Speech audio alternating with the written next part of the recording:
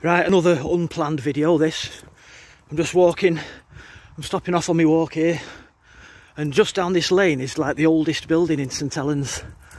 And I've I was intending to do a, proper video on this place but I've never got around to doing it because it, it takes quite a bit of research but it, it like dates back to like the 1300s or the 1400s and it's the remains of an old chantry or old church. It's it's known locally as the abbey but I don't think there ever was an abbey down here.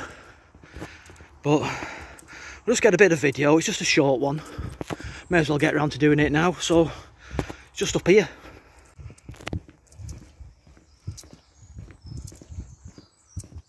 Just just through here. It's at the back of the church.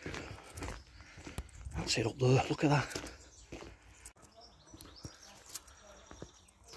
Here we go they're doing some restoration work here. Look at that. Now this is very old. This tower remains.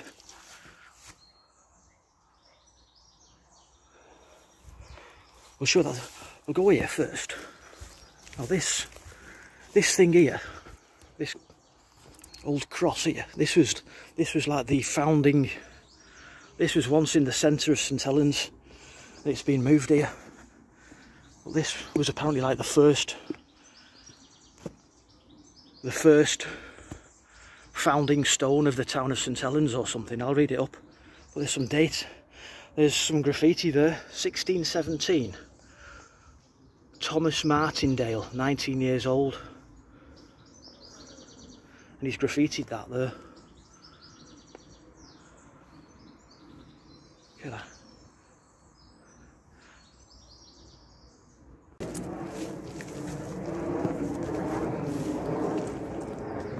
Plane flying over. Where is he? In clouds.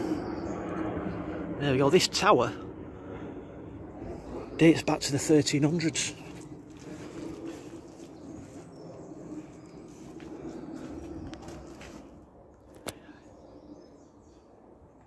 it was I can't read that something that is no I think this was added later there we go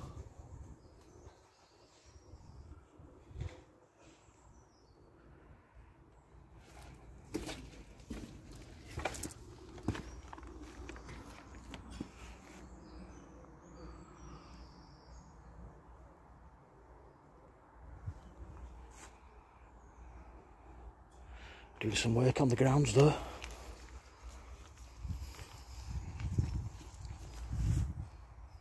Look at that. But again, I was going to do a lot of research and do a very detailed video on this, but I never got around to it, so I'll just do this short one. Well, it's a, a piece of hidden history that's hidden behind St Helens Cemetery. There we go. Old Gothic arch, look at that.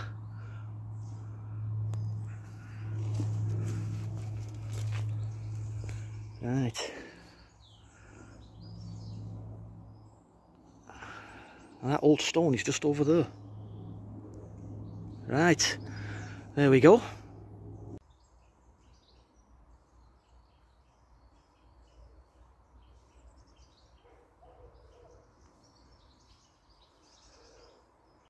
Very old gravestone. 1761. I don't know if you can see that. Some more very old ones here. Look at that. 1766.